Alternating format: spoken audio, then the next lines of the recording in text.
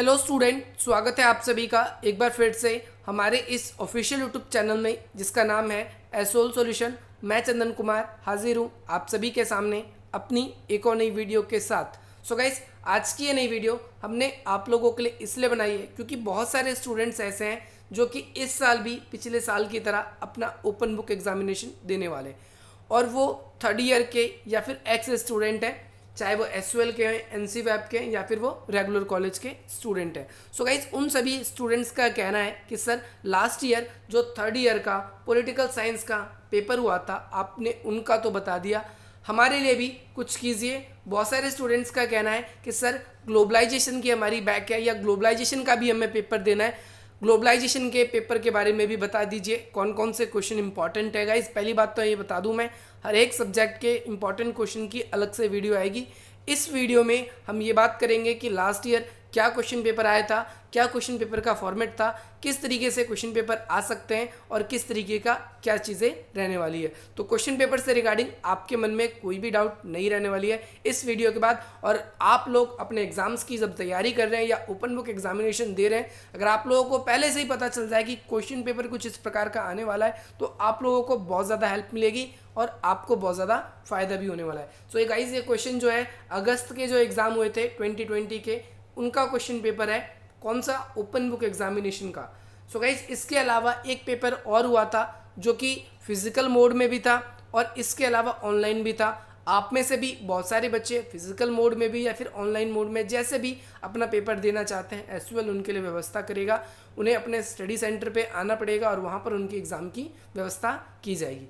तो यहाँ पर सबसे पहली बात, अगर आप लोग हमें कोई क्वेरी भेजना चाहते हैं तो यहाँ पर आप हमें शेयर कर सकते हैं। और इसी प्रकार की अगर आप चाहते हैं कि आप लोगों के लिए एग्ज़ाम के प्रोस्पेक्टिव से इंपॉर्टेंट वीडियोस मिले तो आप लोग हमारे चैनल को सब्सक्राइब कर सकते हैं वीडियो को लाइक कर सकते हैं। और ऐसे ही हर एक विद्यार्थी को, हर एक स्टूडेंट्स को वीडियोस मिले, उसके लिए आप अधिक से अधिक मित्रों तक, अधिक से अधिक ग्रुप्स तक इस वीडियो को शेयर कर सकते हैं। सो गाइज़ ये है आपका क्वेश्चन पेपर जैसा कि आप देख सकते हैं यहाँ पर सबसे पहले जब आप क्वेश्चन पेपर को डाउनलोड करें तो आपको तीन चीज़ें देखनी है। सबसे पहले टाइटल ऑफ़ पेपर यानी पेपर किस सब्जेक्ट का है। आपको, यानी जो आपका रेफरेंस है, जो भी आपको मिला है सब्जेक्ट उसका नेम देखना है। जैसे वैश्वीकरण है, या फिर ग्लोबलाइजेशन है तो आप ये देखेंगे। दूसरी चीज़, आपको यूनिक पेपर कोड देखना है। और तीसरी चीज़, आप लोगों को अपना ईयर या सेमेस्टर जो भी है, उसमें मेंशन होगा, आपको ये चीज़ उसमें देखनी है। इसके बाद मैं बता दूँ कि लास्ट ईयर ज़्यादातर पेपर में जब मैंने आपको पॉलिटिकल साइंस का पेपर दिखाया था, उसमें भी बताया था कि बच्चे बहुत सारी गलती कर रहे थे। क्या कि जैसे यहाँ पर टाइम दो घंटे का लिखा हुआ है। लेकिन टाइम लिखने का उन्हें तीन घंटे का मिला था और एक घंटा अतिरिक्त मिला था क्वेश्चन पेपर डाउनलोड करने का और क्वेश्चन पेपर अपलोड करने का। तो वही चीज़ आप लोगों के लिए साथ भी अगर आपके पास में दो घंटे लिखे हुए आते हैं तो आप ध्यान रखना, तीन घंटे आप लोगों को दिए गए हैं और एक घंटे जो है आप लोगों को अतिरिक्त दिया गया है। किस चीज़ के लिए? क्वेश्चन पेपर डाउनलोड करने के लिए और आंसर शीट स्कैन करके अपलोड करने के लिए। पूरे मार्क्स की बात करूँगा मैं यहाँ पर, हंड्रेड मार्क्स का पेपर होने वाला है आपका। दूसरी बात, यहाँ पर अगर आप देखेंगे तो आपको किसी एक ही लैंग्वेज में आंसर देना है। इंग्लिश तो इंग्लिश सारे क्वेश्चन हिंदी तो सारे क्वेश्चन हिंदी। ये आपकी चॉइस पे उन्होंने छोड़ा है। इसके बाद में चार क्वेश्चन ही अटेंड करने हैं पॉलिटिकल साइंस की तरह आपको इसके अंदर और यहाँ पर आपको सबसे इंपॉर्टेंट चीज़ मैं बता दूँ, अगर चार क्वेश्चन आपको अटेंड करने हैं खास तौर पे एस के बच्चों के लिए, क्योंकि उनका कोई प्रैक्टिकल नहीं होता, कोई अटेंडेंस की मार्क्स नहीं होती तो एक क्वेश्चन आपके लिए बन जाता है पच्चीस मार्क्स का। और इस पच्चीस मार्क्स का बनने के बाद में आपको आंसर लिखना है ज़्यादा। आप पहले से ही इस बात को दिमाग में बिठा लें। तो यहाँ पर अब हम बात करेंगे क्वेश्चंस की क्या क्या क्वेश्चंस आपके पेपर में आए थे और क्या क्या क्वेश्चन आपके आ सकते हैं। उन्हीं चैप्टर से संबंधित, अगर आप देखोगे अपनी ग्लोबलाइजेशन बुक्स को चाहे आपके पास में हार्ड कॉपी होगी हार्ड कॉपी नहीं है तो आप सॉफ्ट कॉपी में कैसे उसको कोई भी आपको स्टडी मटेरियल डाउनलोड करना है तो आप लोगों के लिए मैंने वीडियो बना दी है। आप आई बटन पे क्लिक करके देख सकते हैं वो वीडियो अगर आपके पास में बुक्स नहीं है, आप कंफ्यूज हो रहे हो कि मैं क्या लिखूँगा, क्या नहीं लिखूँगा, क्योंकि गाइज़ मैं आपको बता दूँ 25 नंबर का पेपर है और आपको घर बैठ के जब बुक खोल के आपको पेपर करने का मौका दिया जा रहा है तो आप इतना ईजी मत लेना, जितना ईजी लास्ट ईयर के बच्चों ने भी लिया था और अधिकतम बच्चों की आरए और ई e आई थी। और उनको बहुत ही ज़्यादा प्रॉब्लम हुई थी और ऐसी प्रॉब्लम आपको ना हो, क्योंकि ये सिचुएशन ऐसी है, उस टाइम जब इनका रिज़ल्ट आया था फैब में तो उस टाइम वो कॉलेज जाके फॉर्म वॉर्म भी फिल कराए थे। लेकिन अब अगर आपने कोई भी दिक्कत करी, ऐसी या आपने जानबूझ के कोई प्रॉब्लम करी तो मैं क्या शायद आपकी कोई भी मदद ना कर पाए। यहाँ पर हम देखेंगे सबसे फ़र्स्ट क्वेश्चन यहाँ पर जैसे कि आप देख सकते हैं फ़र्स्ट क्वेश्चन आया है कि वैश्वीकरण क्या है? तो वैश्वीकरण अगर मैं बात करता हूँ तो भाई अगर मैं ये लिख दूँ कि वैश्वीकरण एक बहाव है एक देश से दूसरे देश के अंदर स्वतंत्र रूप से व्यक्ति, वस्तु, पूंजी, ज्ञान, मुद्रा का स्वतंत्र प्रवाह ये वैश्वीकरण है। मैं इतनी सी बात बोल दूँ, ये वैश्वीकरण है, ऐसा नहीं है। आपको वैश्वीकरण के बारे में जितना कुछ आता है, सब कुछ बताना है। आप कई कई परिभाषाएँ लिखेंगे। जैसे मैंने एक परिभाषा बताई आपको अभी, दूसरी परिभाषा है, तीसरी परिभाषा है, तीन तीन परिभाषाएँ इसके आयाम भी बताओगे, क्या फ़ायदे हैं आयाम में, क्या नुकसान है इसके, वो सारी चीज़ें आपको इसके अंदर बतानी होगी। तो आप ये बात तो लिखित रूप में लिख लीजिए सभी बच्चे कि वैश्वीकरण क्या है और वैश्वीकरण के आयाम से जोड़कर आपका क्वेश्चन ज़रूर बनने वाला है, चाहे हिस्ट्री के क्वेश्चन हो, या वो पॉलिटी के क्वेश्चन पेपर में हो, या फिर वो ग्लोबलाइजेशन के क्वेश्चन में। तीनों में सिमिलर आपको एक क्वेश्चन देखने को मिलेगा वैश्वीकरण से। हिस्ट्री में प्रोबेबली कम है बट पॉलिटी और इसमें संभावना पूरी की पूरी है। वैश्वीकरण, भूमंडलीकरण और ग्लोबलाइजेशन एक ही होता है कन्फ्यूज़ नहीं होना। यहाँ पर आपको ये क्वेश्चन तैयार करना है। इसकी वीडियोस बनी हुई है, मैं प्लेलिस्ट आप लोगों के लिए बता दूँगा। अगर आप लोगों ने अब तक अपने नोट्स प्रिपेयर नहीं करे तो आप वहाँ से नोट्स अपने प्रिपेयर कर सकते हो। इसके साथ साथ यहाँ पर आप देखेंगे, अगला है क्षेत्रीय व बहुपक्षीय समझौते का संपूर्ण इतिहास बताना है। अब ये एक तरीके से आपको बताना है क्षेत्रीय और बहुपक्षीय समझौते। सबसे पहली बात तो कौन कराता है क्षेत्रीय और बहुपक्षीय समझौते? दूसरी बात, इतिहास इसका क्या है? तो वही जो मैंने आपको I M F W B और डब्ल्यू को पढ़ाते समय भी बताया था, ब्रिटेन वुड्स संस्था, वहाँ का ऐतिहासिक पृष्ठभूमि से इस क्वेश्चन की तैयारी करनी है। और ये ध्यान रखना, आपका ये क्वेश्चन इस तरीके से आपका इस साल भी पूछने का पूरा संभावना है। इसके बाद में अगला क्वेश्चन है डब्ल्यू के ऊपर वर्ल्ड ट्रेड ऑर्गेनाइजेशन ये प्रमुख इसके क्या मुद्दे हैं? यहाँ पर मुद्दे जब भी आप लिख ले तो मेजर इशू बताने आपको कि किन किन चीज़ों पे ये काम करता है एक तरीके से कार्य।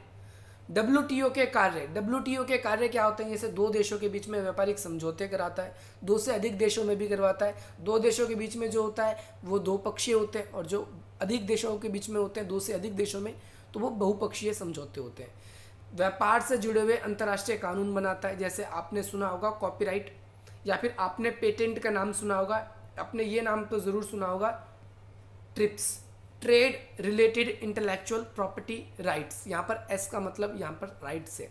यहाँ पर ये ध्यान रखना। तो ये क्या होता है कि भाई, अगर आपने भौतिक संपत्ति का अधिकार है ये ये इंटरनेशनल लेवल पे आपको डब्ल्यूटीओ इसकी संधि करवाई थी और अमेरिका जैसे विकसित देशों ने इसको किया था कि भाई जेनेटिक मेडिसिन नहीं बनाए जा सके। क्योंकि आप देखते हो कि कोई भी, जैसे भी कोविड वैक्सीन है भी बन रही है, आप सबको पता है, लग रही है। आप सब इस दौर में हो सकता है, आने वाले टाइम में भी बच्चे वीडियो देखेंगे तो उन्होंने कोविड को ज़रूर देखा होगा।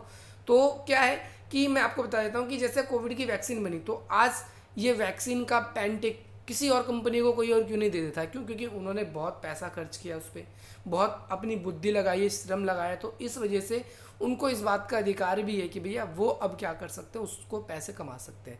तो जब तक ये फॉर्मूला जिसने डेवलप किया है उस दवाई को, उस मेडिसिन को, जब तक वो किसी और को उसका पेंटिक नहीं देगा, जब तक ऑथराइज नहीं देगा, तब तक उसका कोई और यूज़ नहीं कर सकता। यही होता है ट्रेडमार्क वगैरह के लिए बहुत सारी बातें। आपने ट्रिप्स के बारे में पढ़ना है तो मैं आपको अलग से वीडियो बनाऊँगा, उसमें आप समझ रही मास्टर्स वगैरह में के भी एग्ज़ाम में भी आपके पूछा जाता है। तो ऐसे संधियों को करवाता है। व्यापार, दो देशों के बीच में अगर व्यापार से जुड़े हुए कोई भी, अगर वो होते हैं, विवाद होते हैं तो उन विवादों को सुलझाता है। अंतर्राष्ट्रीय स्तर पर व्यापार से संबंधित कानून बनाता है। और जो ग्लोबलाइजेशन है, यानी जो भारत ने जैसे उन्नीस सौ इक्यानवे में एलपीजी मॉडल अपनाया था। एलपीजी मॉडल क्या था? लिबरलाइजेशन, प्राइवेटाइजेशन एंड जिसे ग्लोबलाइजेशन। तो उसमें बहुत हद तक इन्होंने भूमिका निभाई थी। अभी आपका फ़र्स्ट चैप्टर है, स्ट्रक्चरल एडजस्टमेंट प्रोग्राम। तो ये भी आपका पूछ लिया डायरेक्टली तो आप इसका आंसर फ़र्स्ट यूनिट से भी लिख सकते हो। और इसमें सबसे बड़ी क्वेश्चन है कि यहाँ पर आप ये देख सकते हो ग्लोबलाइजेशन के अंदर ये बनाया हुआ है, जो मेरा फेवरेट क्वेश्चन है, और इसको मैं बहुत ज़्यादा लिख सकता हूँ, और आप भी इसको बहुत ज़्यादा लिखने का प्रयास करें, क्योंकि ये दो क्वेश्चन में, ऊपर जो आपने ये लिखा है ना, अभी देखा है फ़र्स्ट क्वेश्चन ये क्वेश्चन ही इसको सिमिलरली नीचे पूछा गया है, लेकिन इसका प्रोस्पेक्टिव यहाँ सिर्फ़ वैश्वीकरण पूछा गया है, और यहाँ पर पूछा गया है कि वैश्वीकरण के राजनीतिक प्रभाव, कि भैया कैसे कोई देश कि जो स्वयं प्रभुत्ता है, उसको वैश्वीकरण कैसे प्रभावित करता है? स्वयं प्रभुत्ता का मतलब सोबरिटी यानी अगर आप अपने निर्णय कैसे ले सकते हो? तो आप देख रहे हो, आज एम वगैरह दुनिया भर की आपके देश में आई हुई है। हमारी सरकार अगर उस पर कोई भी नियम लागू लगा, करने की कोशिश करती है तो वो क्या करती है? वो अपने बचाव के लिए वो या तो देश छोड़ के जाने की बात करते हैं या फिर एम्प्लॉयमेंट को निकालने की बात करते हैं। फॉर एग्जांपल के तौर पे मैं भी बता देता हूँ। अभी रिसेंटली एक केस चल रहा है कि भैया 2021 में अभी गवर्नमेंट ने एक नई आईटी रूल लेकर आए आपने सुना होगा व्हाट्स आपने ये खबर तो सुनी ही होगी कि फेसबुक बैन होने वाला है, ये खबर। भाई ट्विटर बैन होने वाला है इंस्टाग्राम भी। और इतने में ही ये खबर आते आते ही आप ये सुनते हो कि भैया व्हाट्सअप ने सुप्रीम कोर्ट में केस कर दिया। क्या केस कर दिया है? क्योंकि व्हाट्सअप को एक गाइडलाइन दी गई कि भैया, आप, आपको भी एक चीज़ ये करनी होगी। यहाँ पर ये स्वयं प्रभुत्ता को कैसे प्रभावित करता है? मैं इसी को एक्सप्लेन कर रहा हूँ। यहाँ पर एक अच्छे एग्ज़ाम्पल से जो आपको समझ में आ जाएगा। यहाँ पर क्या है कि भाई आपने देखा होगा कि भाई आजकल जो भगदड़ होती है, दंगे होते हैं या फिर सांप्रदायिकता है, वो व्हाट्सअप के थ्रू बड़ी तेज़ी से लोगों की भावनाओं को आहत किया जाता है। बड़ी तेज़ी से वो फॉरवर्ड होते हैं। और वो हमने देखा दिल्ली में जो दंगे भी हुए थे, उसका कहीं ना कहीं एक लिंक हमने व्हाट्सअप के मैसेजेस को भी देखा। ये एकदम से तो गवर्नमेंट का सिर्फ़ इतना ही कहना है कि भैया आप ऐसे फ़ंक्शंस लाओ कि आप, आपको पता है व्हाट्सअप आपको end to end security system देता है। यानी मैं अगर मैं यहाँ से मैसेज कर रहा हूँ और अपने किसी दोस्त को मैसेज कर रहा हूँ तो ये मैसेज जब मैंने यहाँ से लेके यहाँ भेजा तो ये ज़ीरो वन हैश टैग ऐसे कुछ कोड्स में हो जाएगा। सिर्फ़ मैंने क्या यहाँ से लिख के भेजा है, सिर्फ़ मुझे और इनको पता होगा। और कोई भी इस चैट को बीच में नहीं देख सकता इवन व्हाट्सअप के मालिक भी नहीं। ये सिक्योरिटी सिस्टम है। लेकिन गवर्नमेंट ने नया रूल लाया है, गवर्नमेंट क्या क्या कहना है गवर्नमेंट का? गवर्नमेंट का ये कहना है कि भाई, आप ऐसे जब दंगे फैल जाते हैं, ऐसे जो भड़काऊ मैसेजेस फॉरवर्ड होते हैं, जो लोगों की भावनाओं को आहत करते हैं और लोगों के बीच में लड़ाई हो जाती है तो उसके लिए कौन जिम्मेदार होगा? तो आप एक काम करिए, आप ऐसे स्टोरीज बनाइए हर एक मैसेज का, ताकि कल को अगर किसी व्हाट्सअप के मैसेज की वजह से अगर कोई दंगे होते हैं, कुछ होता है तो उस मैसेज को हम सबसे पहले देख लें कि उसका ओरिजिनेट कहाँ से हुआ है, वो कहाँ से सबसे पहले उसको भेजा गया है, ताकि हम उसको पकड़ लें। अब यहाँ पर जो व्हाट्सअप जी का कहना है व्हाट्सअप का कहना है कि नहीं, ये क्या करता है कि ये हमारे fundamental right right to privacy right to privacy निजता का जो अधिकार है, उसको प्रभावित कर रहा है कि भैया दो व्यक्ति अपने बीच में क्या बात कर रहे हैं, इसको गवर्नमेंट को क्या करना और इसके लिए हमें हर एक मैसेजेस के, अब आप ये सोचिए कि हर एक मैसेजेस के उन्हें कोई ना कोई अलग कोड बनाने होंगे। और आप देखोगे हमारे देश में करोड़ों लोग व्हाट्सअप को यूज़ करते हैं तो हर एक मैसेज का स्टोरेज होना ज़रूरी है। तो ये व्हाट्सअप के लिए भी बहुत मुश्किल होगा, बहुत कॉस्टली हो जाएगा। इसीलिए, अब ये देखो, अब कल को हम ये देखते हैं कि भैया गवर्नमेंट हमारी नहीं मानती है। कहती है कि नहीं भाई, हम तो यही लॉ रखेंगे। अगर आपको काम करना है तो हमारे साथ काम कर लो। नहीं करना तो आप काम मत करो। अब हम यहाँ पर क्या देखेंगे? बहुत सारे लोग हैं जो व्हाट्सअप ट्विटर इन सब के थ्रू एक दूसरे से कनेक्ट हैं। और हमारे पास में कोई इसका दूसरा ऑप्शन भी नहीं है। जैसे ट्विटर का ऑप्शन को गवर्नमेंट लेकर आई है। आपने सुना होगा के डबल ओ नाम का ऐप है, जो ट्विटर का ऑप्शन एक बताया जा रहा है इंडिया में। ट्विटर की तरह ही है। लेकिन हम क्या देखते हैं यहाँ पर? हमारे पास और कोई ऑप्शन भी नहीं है तो हमारे जो काम है, वो कहीं ना कहीं हमारी जो गवर्नमेंट है, आगे चल के हमारे इतने यूज़र्स हैं, हमारी हमारी जो, अब देखो, अब एक किसान बिल आता है तो उसके लिए देश में इतने प्रोटेस्ट हो जाते हैं। यहाँ पर कितने लोग, आजकल आप देखोगे कि व्हाट्सअप धीरे धीरे अपने आप को इंक्रीज़ कर रहा है। कितने लोग अपनी फैमिली से वीडियो कॉल पे कनेक्ट होते हैं, कितने अपने इंपॉर्टेंट मैसेजेस भेजते हैं, क्योंकि पोस्ट तो मेरी जब बुक्स आती है पोस्ट होकर, किसी भी, अगर मैं कॉलेज में अप्लाई करता हूँ, जैसे फॉर एग्जांपल इग्नू में मैं अप्लाई करता हूँ मास्टर्स के लिए और किसी चीज़ के लिए, कोई भी कोर्स के लिए। तो इग्नू में क्या होता है, आपकी बुक जो है पोस्ट होकर आती है। तो वो पोस्ट वहाँ से दिख तो जाता है मुझे आपकी बुक डिस्पैच हो चुकी है, लेकिन रियल में मेरे घर पहुँचेगी नहीं। कई बार ऐसा देखने को मिलता है। तो क्या हमारे पास ऐसे ऑप्शन है? अब हमारी गवर्नमेंट हमें भी पता है, हमारी गवर्नमेंट व्हाट्सअप पूरी तरीके से बैन नहीं कर सकती। यही टेलीग्राम का और यही फेसबुक और ट्विटर और सब चीज़ों के लिए भी है।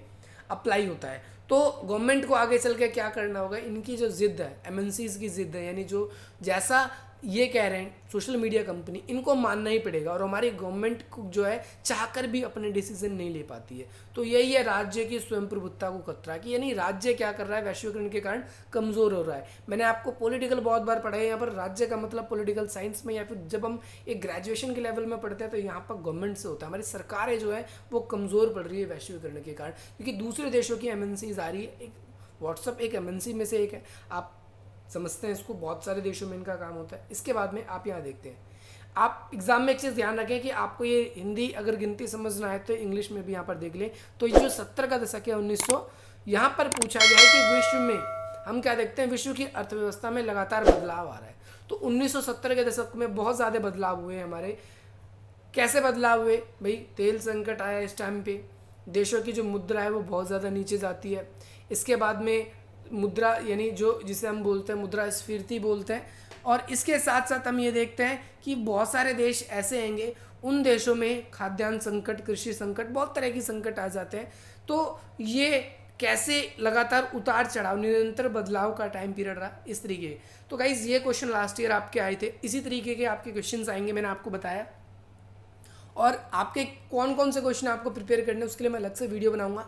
आप चाहते हैं इसी तरीके की वीडियोस हमारी तरफ़ से तो आप हमारे चैनल को सब्सक्राइब करें, वीडियो को लाइक करें, अधिक से अधिक मित्रों को शेयर करें। चलेगा इस मिलते हैं हम आपसे अपनी अगली वीडियो में। जय हिंद, जय भारत।